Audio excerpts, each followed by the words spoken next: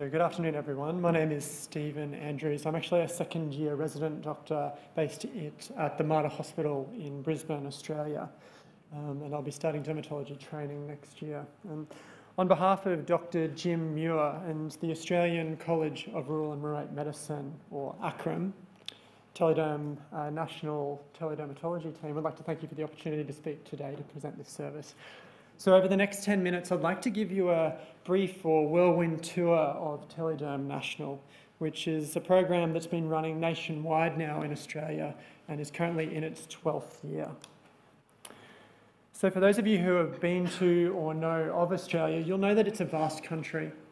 We have a population of around 24 million people, around 90% of whom live in capital city or in a regional areas, shown as either red or yellow on the map here.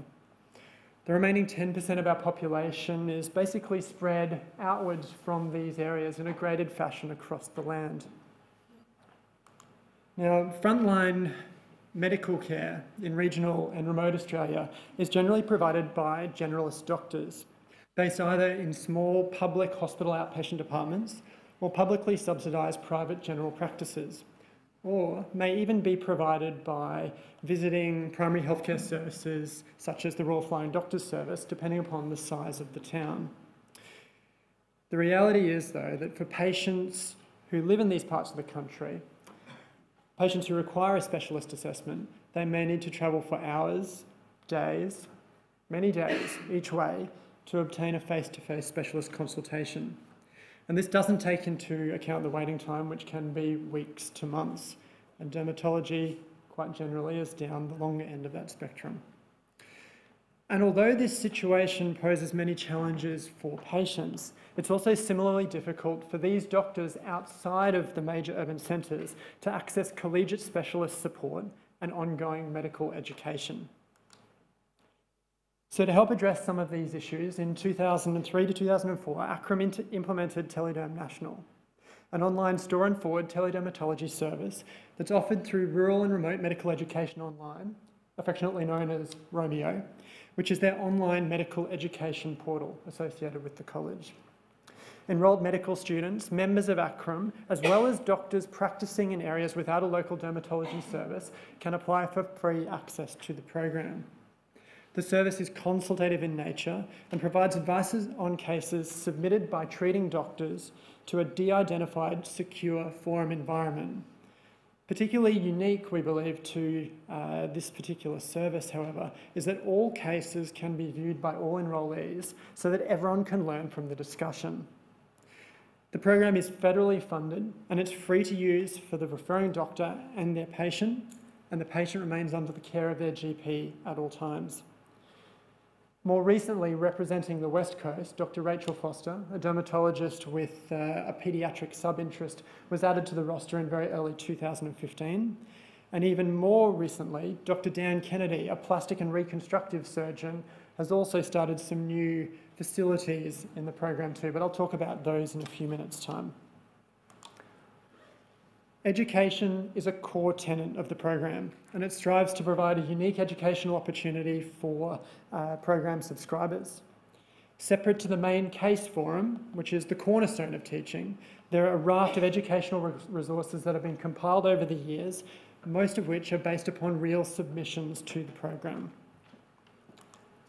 The philosophy is not only to help GPs with patient-specific issues, but help them think about the diagnostic, investigative, and management process so that these skills can be conferred again to their patients in the future. I'll also go over some of these a little more in a minute. So for the main submission env environment, to submit a case, an enrolled GP obtains their patient's consent.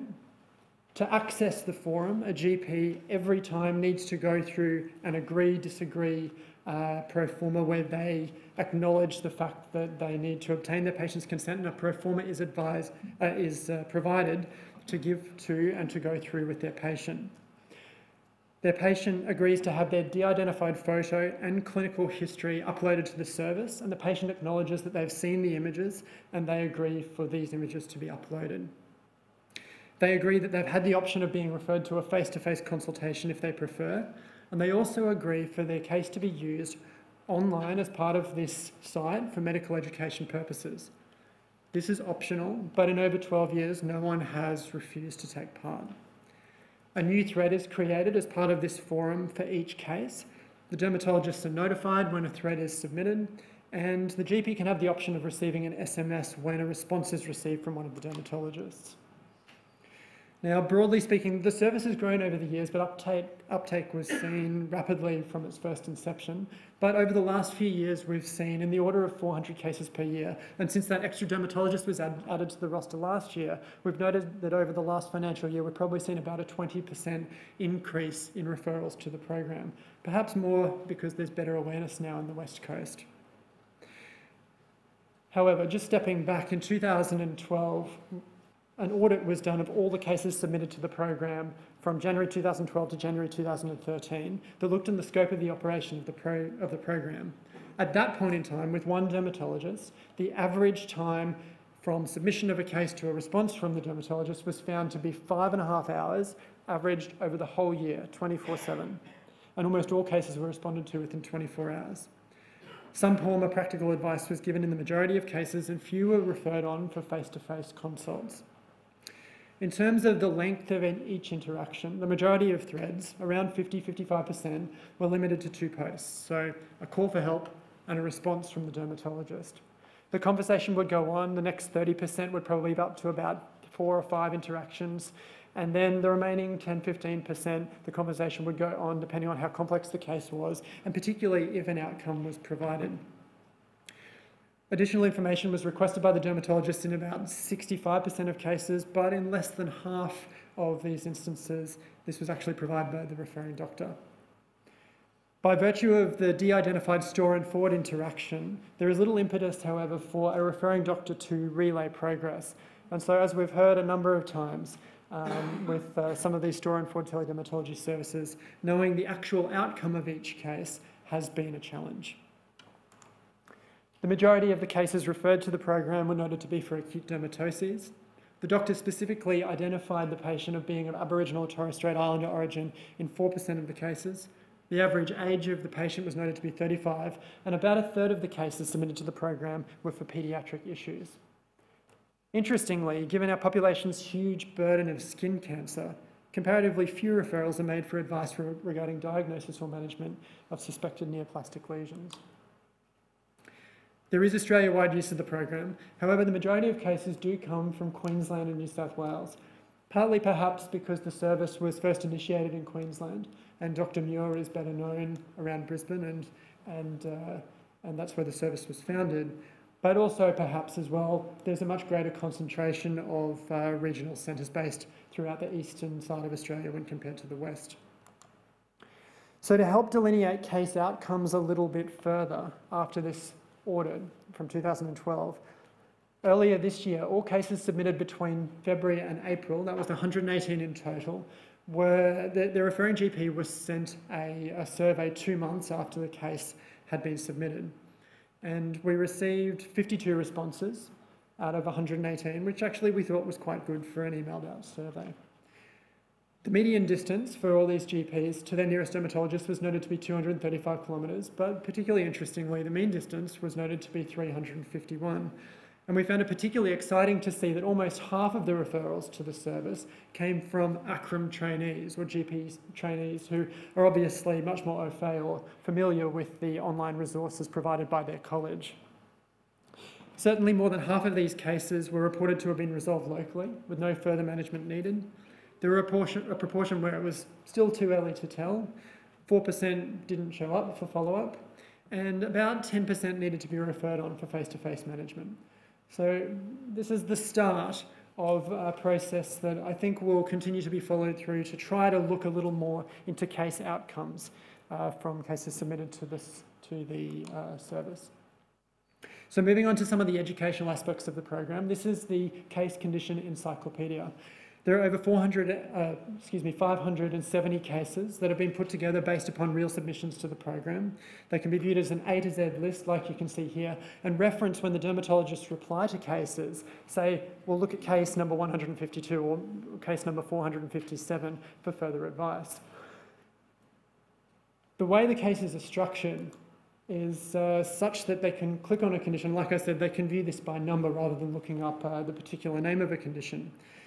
And they can learn about the condition in an in intuitive and thoughtful fashion. So they can go into the case, they can look at some pictures, they can have the opportunity to think about how to describe the lesions, they can think about different, different differentials that this may represent.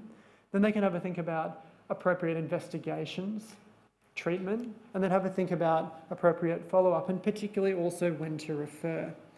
The process, we believe, encourages ongoing self-directed professional development.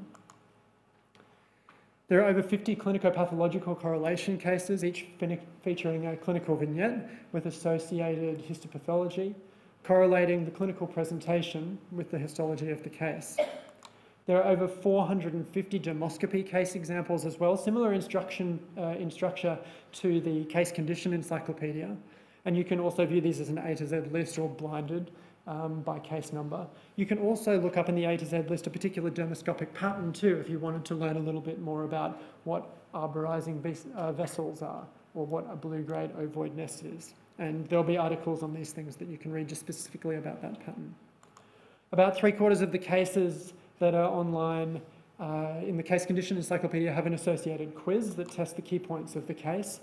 And fellows of the college, so uh, fellows of ACRRM, can accrue CPD points for attempting these quiz, quizzes to renew their accreditation.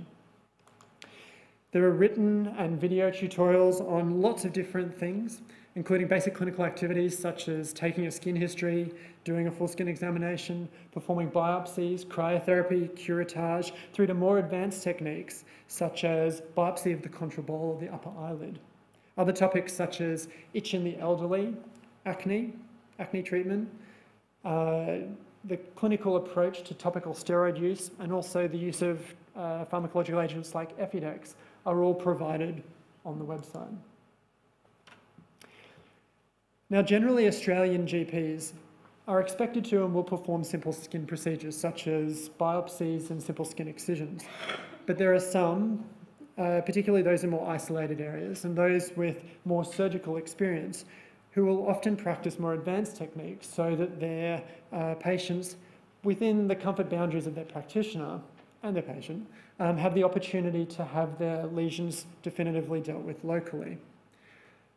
New to, well, effectively this year, December last year, uh, a new forum, so a case submission forum separate to the case condition, uh, the, the dermatology submit a case library was started, hosted by Dr. Dan Kennedy, a Brisbane-based plastic and reconstructive surgeon, where some of these more isolated general practitioners who do have surgical skills um, and would like to have the opportunity to offer their patient the, um, the chance to have their lesions dealt with are able to submit cases where they would like to have a bit of reassurance about how to go about managing a case, what techniques they might want to use, what margins they want to use, what closures may be appropriate, and also whether or not if this is something that should be referred.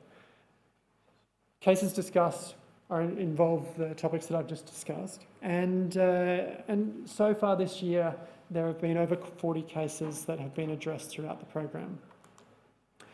Also this year, we've seen the addition of a series of live online interactive lectures that give the opportunity for subscribers to the program to log in and participate in interactive discussions about various dermatological topics. So four sessions have been run this year, partly based upon the new expertise added to the program. So one on paediatric eczema management, run by Dr. Rachel Foster, and uh, one on principles of acne management and acne mimic disorders as well, also host hosted by Dr. Foster. There have also been two sessions run on advanced skin surgery as well. They run on Blackboard Collaborate and allow everyone to log in and participate in the discussion. Now, I don't really have enough time to show you a clip, but this is uh, a brief example of one of the cases that they had discussed about an elderly gentleman in a rural Queensland town. So he would be in the order of 14 to 15 hours drive from Brisbane who had two ulcerated lesions on his ear. The superior lesion had been previously biopsied by another practitioner to show moderately differentiated SCC, and the posterior lesion had not been biopsied yet. And they had an interactive discussion with participants asking questions about the types of biopsy they would perform, how to go about these things, and reference was made to the learning materials on the site as well. The generalist then went on, in, in conjunction with the plastic surgeon, to describe the next step in management. And in this case, a wedge excision was opted for for the superior lesion and a biopsy of the posterior lesion. Unfortunately, the wedge excision showed an involved posterior margin, and there was further discussion about how to go about appropriate management of this patient. This generalist has quite a lot of uh, surgical experience, and so he, he gave, I guess, a, an exhibition of how this case was dealt with, and discussions about alternative ways uh, it could be dealt with were um, addressed by the plastic surgeon too.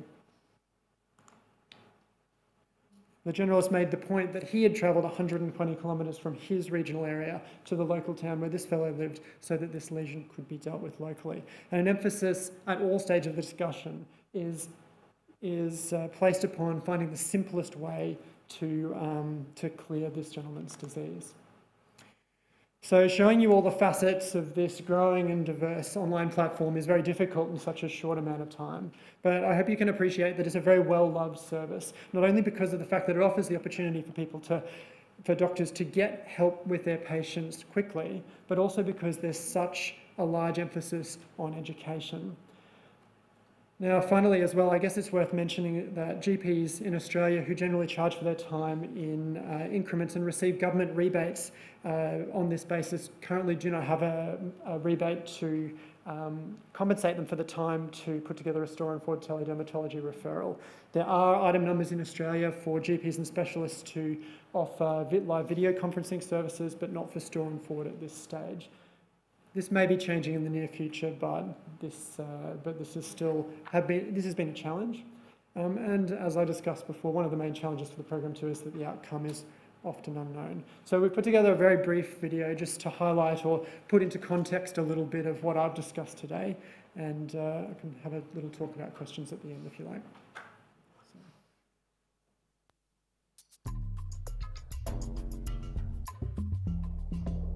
Telederm provides online education and consultational services in dermatology for rural and remote doctors.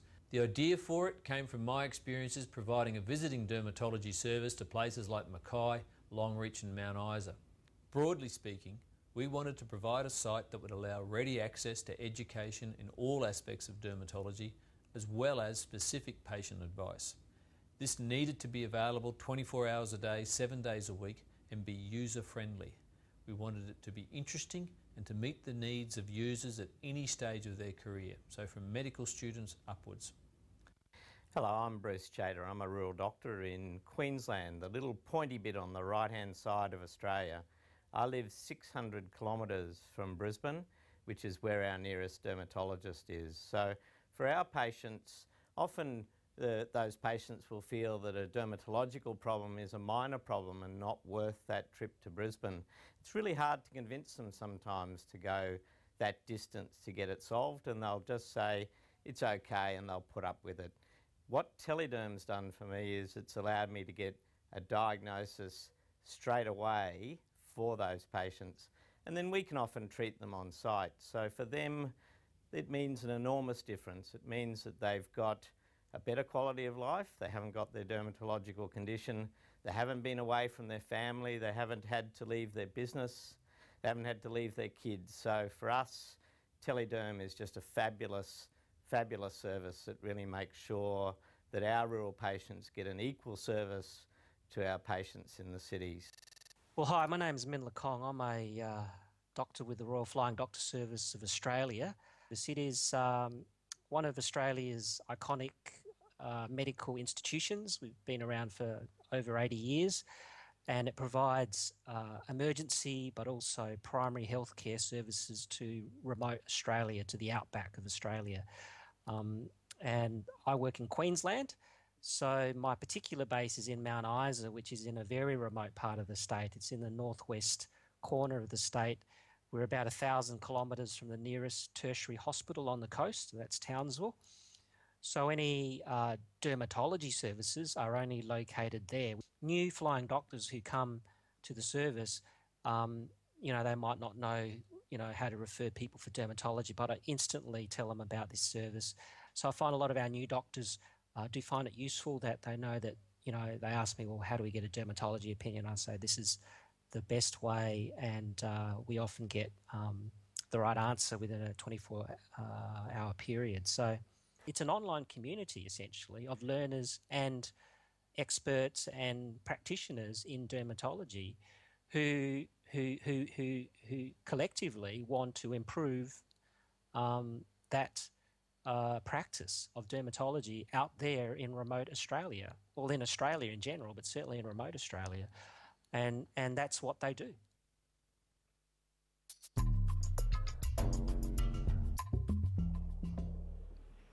So